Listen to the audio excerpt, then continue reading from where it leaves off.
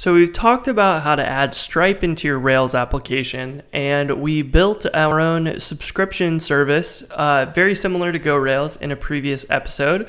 And it allows you to sign up, and there would be a sign up button and a credit card form.